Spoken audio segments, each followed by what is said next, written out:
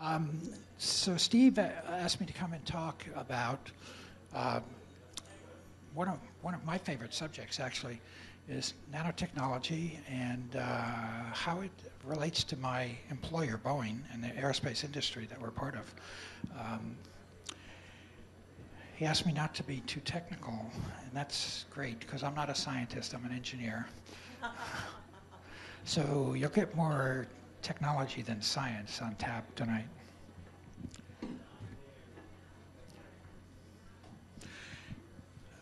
I think uh, I don't want to dwell too much on the on the abstract, but um, the the point is that we're we're looking at a, a new um, era. We somebody in the Chicago newspaper uh, when the 787 came out said the 787 has put an end to the era of metal airplanes. And so with nanotechnology, we're looking at the next era because the composites themselves are more uh, friendly to nanotechnology than metals have shown themselves to be. So when we went to a polymeric airplane, plastic airplane, uh, it just opened up all kinds of opportunities. And, and uh, uh I'm going to talk a little bit about those tonight. Cannot hear me? All right, good. So there, there's four parts to this talk. One, first, I'll give you a, a, very brief overview, and then talk about the applications where we see nanotechnology fitting into our our current airplane strategy. Um, and then uh, talk also about some educational issues because nanotechnology is not only a new subject, but it's a new um, new category even. Uh, the old um, way of looking at science and chemistry, physics, metallurgy, when you get down to the nanoscale, that all becomes blurred. And uh, we're, we're, looking at a totally different way of uh, educating our, our students. And then we talk about collaboration, because that's a very important subject to Boeing right now. We, we face the, the issue of uh, not being able to do everything. We can do anything, but we cannot do everything. So uh, it's very important to know how to work with other groups, other people, other countries, other, other entities, and all of that, especially with nanotechnology. So what is nanotechnology? It, it's incredibly small. It's uh, 10 to the minus ninth meters. Um, by comparison, you see a, a bacteria is a thousand nanometers. Uh, a virus is 100 nanometers. We're talking about enhancing our airplane structure with carbon nanotubes that are one or two nanometers in diameter. Uh, what that does for us in several things. One is the uh, very small size increases the uh, surface area per unit volume tremendously. And uh, somebody, somebody used the term um, a football field in a raindrop. Literally, uh, you can have, if you have nanoscale particles, you can have uh, the surface area is equal to a football field, but the volume is only a raindrop. And that's not an exaggeration.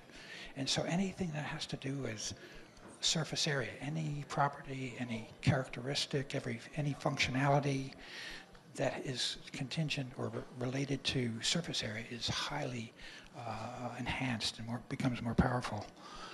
Uh, the other th- the other thing is the nanotube is itself the most electrically conductive, the most thermally conductive, the highest strength, the highest stiffness material in the world, in the universe so far. And so the, the, the, the, the challenge and, and really the, what really is pulling us in this direction is how can we harness that? How can we put that into our airplane? And, and the big issue is multifunctionality. Could we make something that is not only a piece of structure, but it's also electrically conductive. It's also thermally conductive. It's also acoustic damping. It has all of these multifunctionalities, capability, potentially. And the final uh, the really interesting thing is we might be able to design materials. We don't not just take materials and design a piece of structure. We could design the materials to be just what we want. We could make it more or less any one of those functions I just talked about, any one of those functionalities. So th- those things are just driving not just Boeing, but uh, the whole world is spending tens of billions of dollars per year on research in this area. It's the biggest mm, material science uh, activity probably since the discovery of flint. So that's so we go from the very small to the very large because Boeing's not a chemistry company. It's not a uh, uh, a material supplier. It makes airplanes. It makes rockets. And so how can we get these incredibly small things into our products? And that's we since 2006 we've actually been uh, working on this. The, the uh, what really kicked it all off was Toyota. Um, back in the early 90s, they took uh, just simple nylon, nylon 6, very inexpensive plastic. They put nano clay, not nanotubes, nothing sophisticated like nanotubes or nanoplatelet, just nano clay, which is basically dirt. And they put it in there, and, and look what happened. The, uh, the stiffness went up 91%, the strength went up 55%. Um, the CTE went down 52%. That means it's stable, dimensionally stable, coefficient of thermal expansion. Um, all the properties went up, and just by putting a very small percentage of this very small mat- material particles, which are nanoclay, and, and that, that really caught the interest of industries all over the world. And we have uh, within my world, I, I just found a, a fellow Boeing BMTer next to me right here. And uh, we have seen uh, changes, a lot of changes over the years. When you go from metals, which is an isotropic material, we in the 1980s we all fell in love with composite material because now you had the ability to to tailor the, uh, the, the load carrying capabilities by pointing the fibers this way or that way. Now we're seeing another big leap, another big step, and that's the nano composites. And where we had before, we had this very capable, varied uh, composite material as far as strength and structure. Now we have the possibility that that same structure could carry current. We could replace, we actually have a project. Uh, we're working on replacing copper wire with plastic wire with nanotubes in it.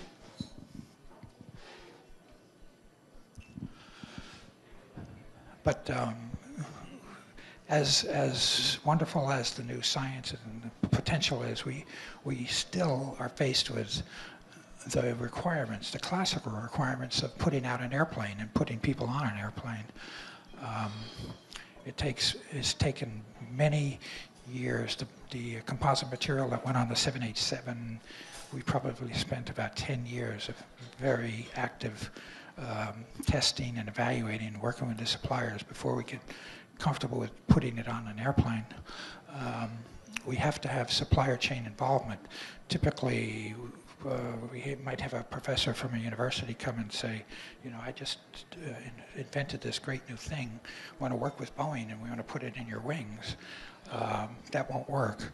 We have to have the whole value chain. We have to have the material supplier. And there's maybe four or five entities between the, uh, the university and Boeing, University of Boeing, however you want to look at it. And, and, they have to be in there from the beginning. They have to be part of the development team. And then our success stories have done that. Um, and and the, the, other entities are the ones that can take it and scale it up.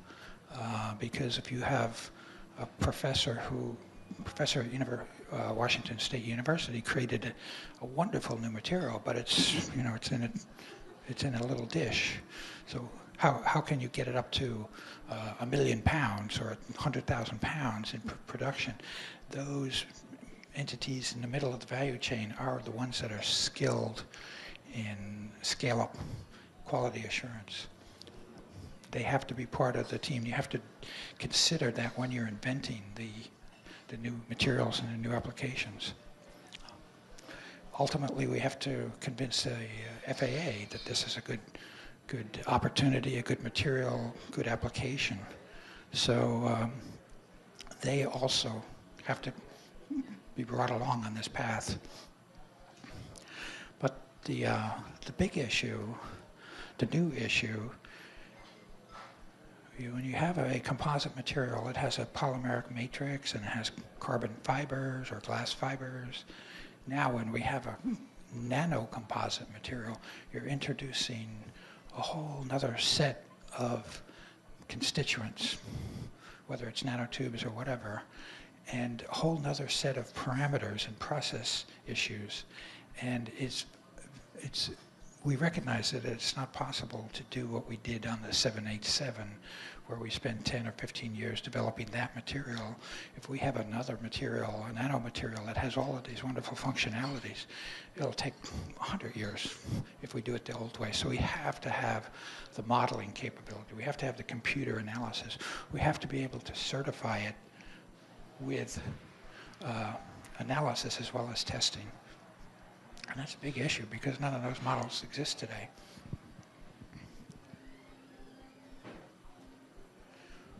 So the, um, the key drivers for any application, whether it's nano or micro or metal or anything, it has to be affordable. And one, one thing that we uh, often talk about is that affordability is not just the price of the airplane. It's what it costs to operate it, what it costs to maintain it, repair it, and what it's worth when ultimately when you sell it. And all those things put together are called TAROC, total operating, uh, total airplane related operating costs, and that's what determines whether the airline will buy it or not buy it. And we want breakthrough performance as, as usual, and we also want uh, environmental friendliness. Um, we have programs going out in biofuels. It turns out one of the biggest benefits to uh, reduced emissions is reduced weight. So we have been working on reducing weight for, for decades. So it's good to find out that the, uh, if you reduce the max takeoff weight, tremendous reduction in uh, the obnoxious emissions for the whole flight.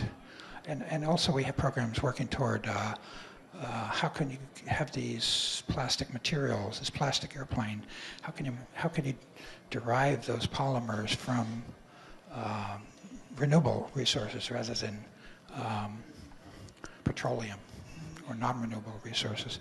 So we have programs, and as everybody does, in um, bioepoxy, or uh, carbon fiber based on, on uh, seaweed or something like that.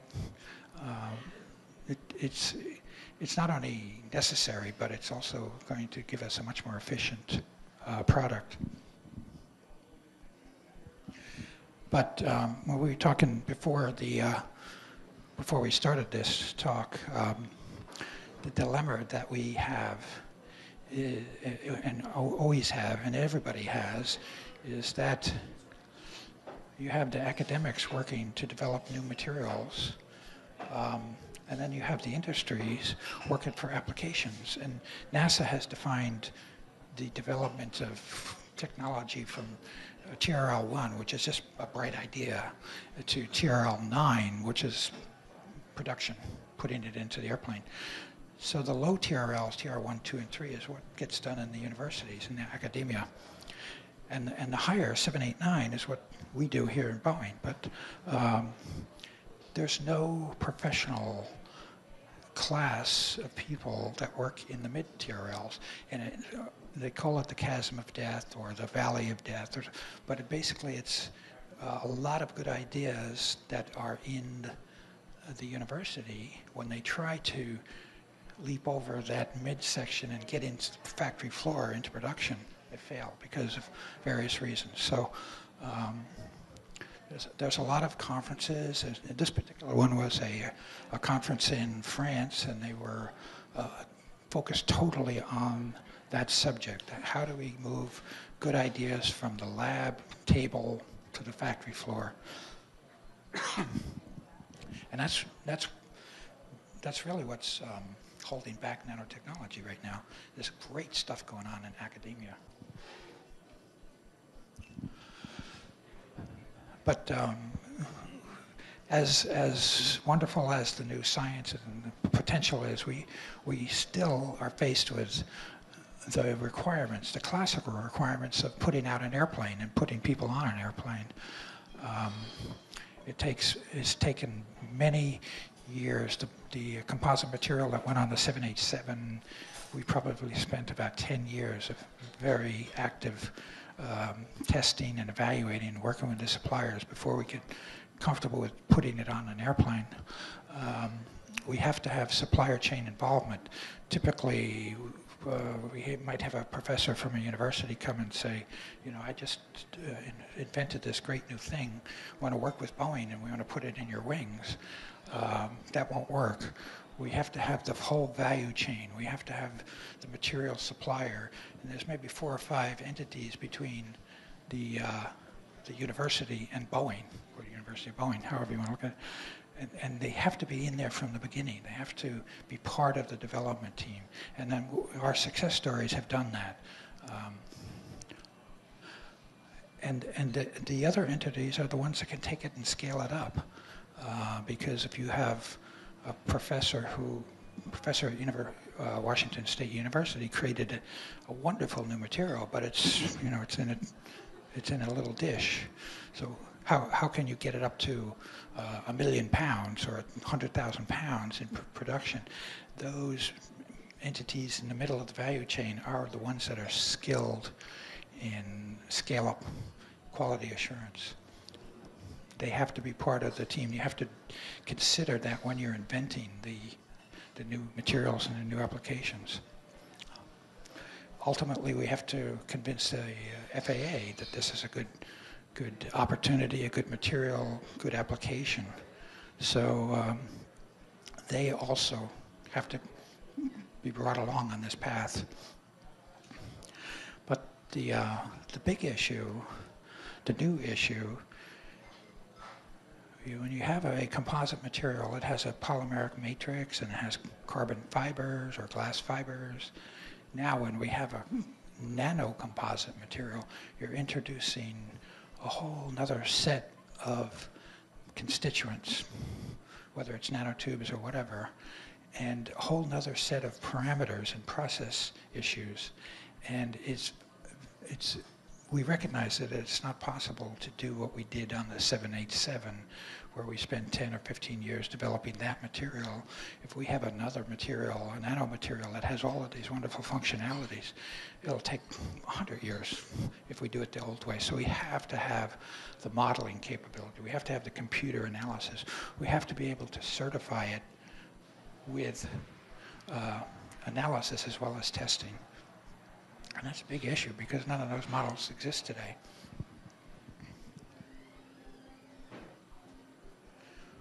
So the, um, the key drivers for any application, whether it's nano or micro or metal or anything, it has to be affordable. And one, one thing that we uh, often talk about is that affordability is not just the price of the airplane. It's what it costs to operate it, what it costs to maintain it, repair it, and what it's worth when ultimately when you sell it. And all those things put together are called TAROC, total operating, uh, total airplane related operating costs, and that's what determines whether the airline will buy it or not buy it.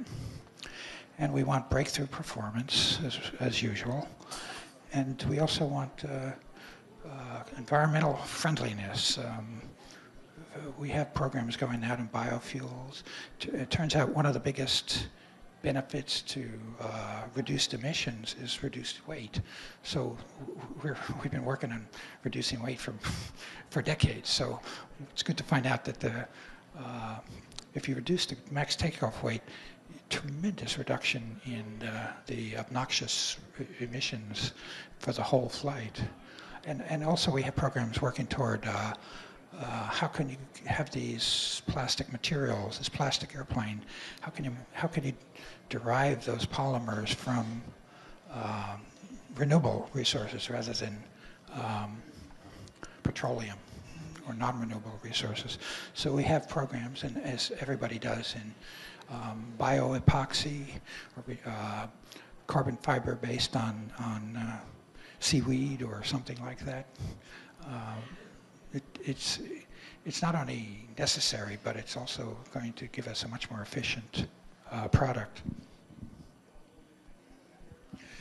But um, when we were talking before the uh, before we started this talk, um, the dilemma that we have, is, and always have, and everybody has, is that you have the academics working to develop new materials, um, and then you have the industries working for applications. And NASA has defined the development of technology from TRL-1, which is just a bright idea, to TRL-9, which is production, putting it into the airplane.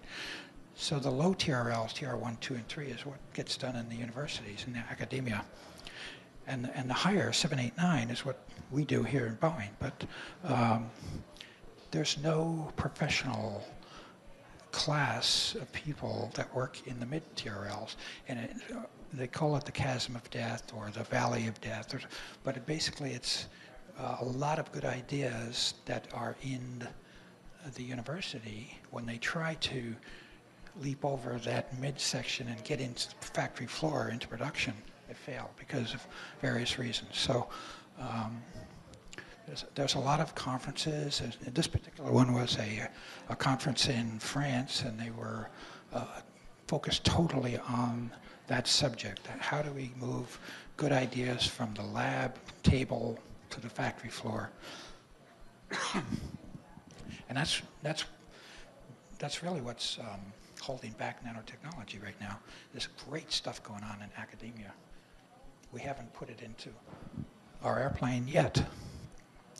And we ha already have some substantial history in this. In 2005, um, prior to the 787, if you may recall, there was another airplane called the Sonic Cruiser, a very swoopy, beautiful airplane. All the engineers loved it. the airlines didn't care for it too much. But um, back then, the vice president of uh, the Sonic Cruiser sent out a, a, message and said, what is this stuff called nanotechnology and how can it help us on a Cruiser? So there wasn't anybody who can answer it in Boeing. There was one guy in St. Louis who had a little hint of what it was about. Um, so we had a, uh, a three-day workshop. We invited about 75 experts from around the world, literally, came from Asia and Europe and the U.S. and the labs and universities and industry. And they came and we worked for three days defining what it is, building roadmaps of where we wanted to go. It was a, it was a great effort. We had you know, you see people down on their hands and knees there. Those are CEOs and professors, and they just got carried away with the whole road mapping exercise. But out of, out of those thousands of ideas and, and, and subjects that we had as a result of that roadmap workshop, we got, you know, maybe a, a dozen or so that were the top issues. Um, and, and they are, you know, electrical conductivity, thermal conductivity, acoustic, uh, damping enhancements, um, engineered materials, adhesives and bonding. How can we, we can make the adhesives and bonding better? We can get rid of fasteners. Um, we, just, we talked about the tools, computer modeling, analyses, uh, material characterization, QA methods. If we don't have, this is the real, one of the big challenges. If we don't have a way of, suppose we find a, a, a way of putting nanotubes in material and it performs wonderfully, but if we don't have the QA tools to assure that every batch of material, every roll of material, every foot of material has those tiny little things distributed appropriately, um, then we can't build airplanes with it. So absolute critical is the QA. um, hydrophobic, icephobic coatings, of course, that's, that's a dream that we would love to see uh, in reality. Um, resin infusion is a growing um, technology or process for manufacturing of uh, uh, composite, large composite parts. The, the, uh, the unfortunate part is that to date, whenever you put the nanoparticles in there, it raises the viscosity so much that it makes it almost impractical. So we have a dilemma. People want resin infusion, they want new technology, but when you put them together, they don't work so far. Um, how can we make better power sources, better batteries, better fuel cells uh, with, the, with the, the power and the electrical properties of nanotubes? So there's a lot of uh, issue, really great issues, and those, those were, again, those were 2005. The bottom line is they're still on our wish list. we haven't accomplished any of those, and it's 2009. And we've just added a few to our wish list. Um, but the, the, main thing is affordability. How do we, how can we make these uh, materials affordable? And uh, even though they're very small, very small quantities, to date, uh, nanotubes, nanofibers, nanoplatelets are relatively expensive. They have come down several orders of magnitude in the past past uh, several years, but they're still, compared to other constituents, extremely expensive. So that's what we need. We need affordability. We need to get some commercial applications. We need to get nanotechnology in a part where we can point to the 787 and say that that door is better now because we have nanotechnology in it. Uh, and so far we have not done that, and neither has anybody else. That's, that's like the first step. Once that happens, others will just follow very rapidly. So we, we had a, a, number of people who have come to us and asked that question: How can we get get uh, what, what, can we do to help you get nanotechnology into your airplane? The, the pragmatic, the practical approach we thought was rather than take nanotubes and try to put them into the structure, there's a lot of issues with doing that. The simplest, maybe straightforward approach is to make a, su- super, look for superficial applications. What can we put on the surface of the existing structure? Um, it's, it's easier to it's easier to, to qualify. It's easier to certify. The business issues are less complex because we don't get into the chemistry or the the contracts of uh, a company like Toray or what that already supplies materials. So so we picked. Um, we had people from MIT and some other sources, and uh, so we picked four applications because basically it, it's very it was very common that um, you, you, would have labs like Oak Ridge National Lab or MIT labs and come to you and say, what can we do for you? How can we help you in your, in your goals? We have great people, we have great facilities. So we picked these four, and uh, the first one was ice-phobic coatings. Uh, we have um, a, a, lot of a lot of effort goes into uh, protecting against ice that might accumulate in flight. There are anti-icing uh, systems the wing leading edge. There's the, you can see the picture of the spray uh, that they do at the airports. Uh, if we could have a nanotechnology coating that you could put on there and reliably um, eliminate the threat of ice forming, um, and that's the key because it has to be 100% reliable. It cannot be almost almost reliable um, that that would um, that would be a huge thing. And so that was one of our our top four. Same thing with windshield coatings. If you have a hydrophobic, um, we talked to some people in aerodynamics, and they said, you know, if we could have this kind of surface on a wing, we could we could get uh, significant reductions in drag. Um, can, nanoscale is too small to do anything but uh, could you have nano self-assembly build a surface that is designed for um, aerodynamic improvements? Again, you don't have to, this kind of approach, you don't have to uh, do anything to the wing. You don't have to change the wing. You don't have to change the material. You just put a surface on there. And then um, a big thing inside the airplane is uh, static electric shielding or electromagnetic interference shielding, uh, EMI, ESD. Um, we could we, we could spend a lot of time trying to make the the material, the structure, the inside the airplane uh, electrically conductive, but it, it might be more practical and near-term solution would be to make a film that could be applied to whatever is in there now. And so you don't have to change whatever's in there now. You just apply that film. And uh, we, we do have a, we're, we're partners in a um, NSF GOALI grant with uh, WSU and, and UW, which has turned out to be very successful. We just had a two-year report out two weeks ago. Um, it, it's, it's going to be very good, and we built the value chain, the, the value chain. So we, along with those two, two universities and Boeing, we also have a material supplier for the thermoplastics, and we have a material supplier for the nano that are part of the team. So um, just that's just a summary of uh, what we've just been talking about there. But um, same thing with systems.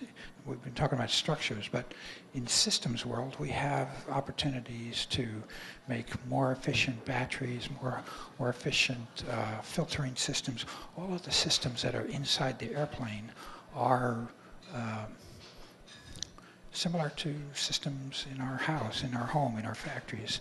We have probably all the technologies possible inside an airplane.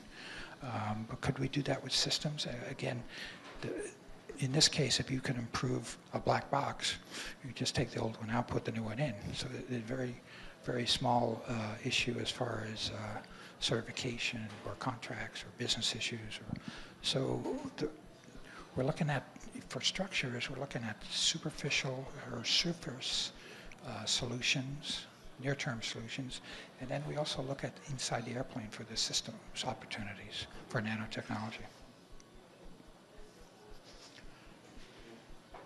I'm, I'm running out of time, so I'm going to skip through here. The important issue is um, education, as I mentioned in the beginning, and uh, we, we, we've had a whole series of workshops. As I mentioned, the first one is 2005, the last one was uh, 2008, and our next one is uh, early next year, each one focusing on a different area, and then uh, each one bringing in 70 to 80 external experts we have 30 to 40 Boeing people. They mix for three days. They share our needs, our capabilities. Uh, it works out very well. We've also uh, pulled in some of the top academics and had them give us classes. Uh, the first one was in 2005, Joe Koo from Texas. Um, then we had Katie Zhong from WSU. She did two two week long courses, one in one in Everett, one in Renton. Uh, we have Satish Kumar from Georgia Tech on nanomechanics. Uh, and then just a few weeks ago, we had what's called the boot camp, the ASME, the American Society of Mechanical Engineers, um, and Boeing pulled in a whole set of uh, experts, maybe five or six professors, and uh, we had two days of uh, of talking and working and getting smarter together. Was very effective. Um, so I, I think I'll skip what we did. Um, there's also um, to, to to indicate how important this is. Uh, in uh, when was it April? The NSF and the NNI and several other government Department of Education and some industry people uh, we we met down at uh, USC for a couple of days and and took, talked about what what are the real needs for ac academic education from K through 12 up through graduate school, um, and from this. Um, the uh, NSF and the DOE will publish a, uh, a document. It's about it's about 100 pages long. Last time I saw the draft, uh, it should be published shortly. So if anybody is interested in learning more about that, it will be available. I can point you toward that. But uh, one of the things that came out of that workshop is, you know, there's a tremendous and growing number of sources where where you can get nanotechnology education, um, and it's the list is growing every every day. Um, there's even some very interesting things going on for kids, uh, particularly the dragonfly. I don't know if anybody's seen that, but that it's a, a nanotechnology uh, TV show. Um, it's fascinating, actually. I, I, watched it. There's been about 12 episodes. Um, there's there's nano days. Um, I, I, put a one-liner down at the bottom because uh, WSU has a uh, annual statewide uh, science fair competition, which they host, and uh, I, John Palmer, who is part of this group, uh, uh, got me involved in that for the past two years, and almost invariably the the the projects they're superb, they're excellent, and they almost always involve some form of nanotechnology.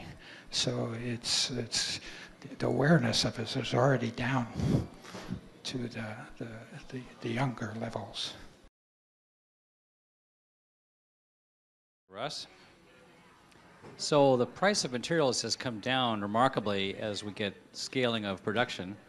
Do you think that same scaling law will apply to nanomaterials as well? Uh, yes. Um, the, um, the nanotubes have come down maybe three or four orders of magnitude, but, but they were enormously expensive to start with. And so it's, uh, it's still not down where we want to see it.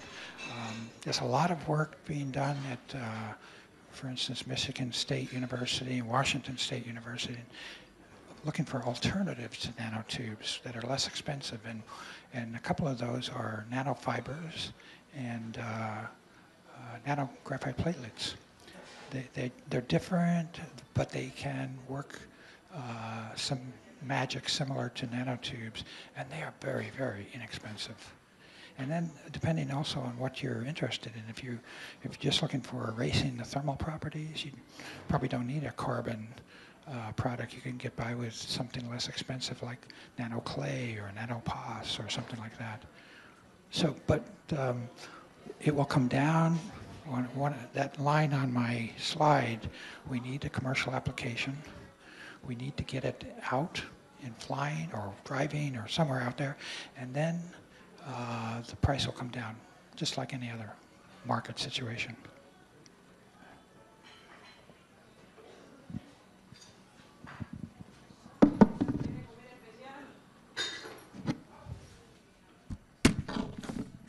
So, Russ, I do have a question for you.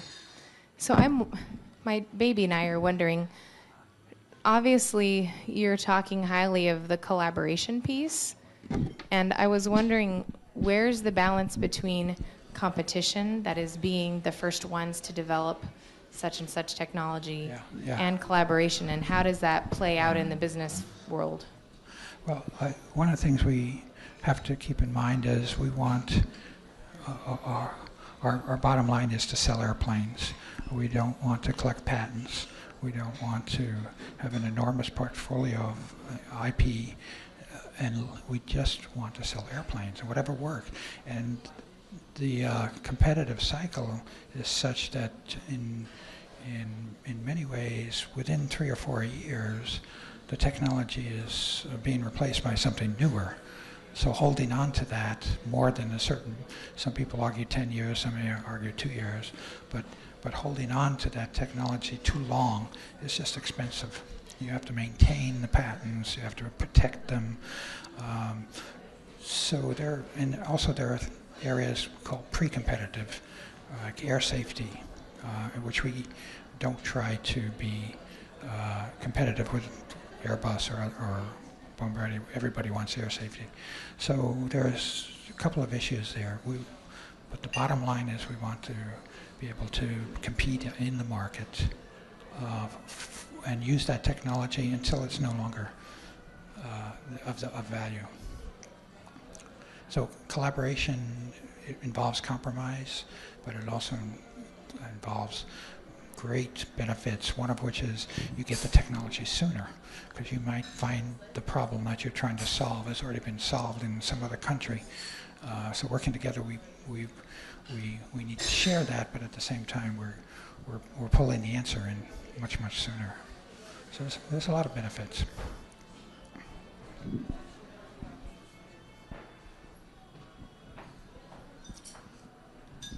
Hi, Russ. I have a question. Um, is this technology being employed in the 787, or is this on down the line? I came a little late. You probably already explained it. Um, it's not on the 787 now, but it's it's destined for next generation airplanes, definitely. Yeah, the 787 designed years ago, so uh, we um, probably will see it on the next airplane. It's very, very close now in certain areas like systems um, or, or, or ducting or something like that.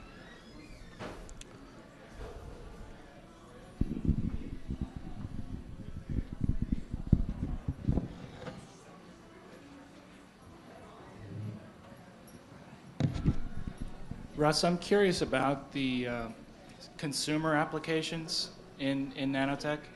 And, you know, thinking of last winter, I would love a, an ice phobic Lamborghini, but uh, they're out of my range. I did see them today. They look great. And I know they're talking about the carbon fiber and all the, all the technology they have in those cars. But what about the more uh, within range consumer technology? uh, involving nanotech. Can we get ice-phobic vehicles in the near future? Um, I don't I don't know about ice-phobic vehicles, but you can you can go on the web sites and find lots of products that already have nanotubes on them, like uh, uh, what, was that company? Um, sports equipment. Anyway, they're they're selling uh, carbon fiber um, tennis rackets or golf clubs or something that have nano in them. If they put them in wisely, it will give you a benefit. Uh, if they're just putting them in there for marketing, uh, that's that's about what, what you get. But uh, somebody did a report on on that subject, and it, there's hundreds and hundreds of applications where nano is already in there. Um, one, one of the uh, professors came to our, one of our workshops in 2007 or 2008, and uh, he was wearing a, a, golf jacket that he got from Walmart, and, and it had nanoparticles in there that repelled uh, water, hydrophobic coating. And he said it works great. Uh, it's simple. You don't have to worry about certification or structures. Or, you just put it in there, and it, and it repels water better than whatever the predecessor was. So I think getting it on the airplane is one of the hardest places to put it, but if you do a little search, uh, it's not hard to find uh, applications and products that are already out there now with with these kind of benefits.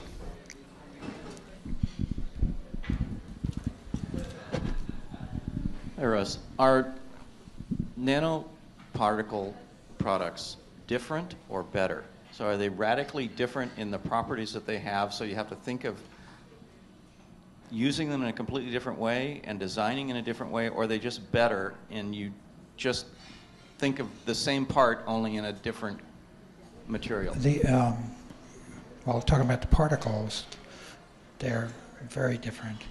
One, of the advantages, we talk about the price of them being very expensive, but uh, if, it's done right, you only need a very, very small amount. And in fact, the, the project that we have with WSU to make uh, PEI thermoplastics uh, electrically conductive, it, it improved conductivity by 11 orders of magnitude with less than a half a percent by weight of nanotubes. So it's a very, very powerful additive. Uh, but there's a lot of smarts goes into how to put that in the PEI, disperse it, uh, make make it uh, make all the particles link up. The percolation uh, network has to be formed. So there's a lot there's a lot of stuff that has to be done. It's a lot of a lot of cleverness goes in there, but. Uh, in, the, in the end, it, it, it, would be a very, very small uh, amount of material that goes in there. The part, the, the final part itself, hopefully will be uh, almost indistinguishable from from the previous part, the non-nano part, but it will be better. It'll be stronger. It'll have more than one functionality. Um, but as far as manufacturing, it should not uh, should not uh, cause any problems in the factory, cause any additional equipment to be purchased. Uh, we, we want it to be essentially invisible to the current manufacturing uh, system, but the final performance would be enhanced.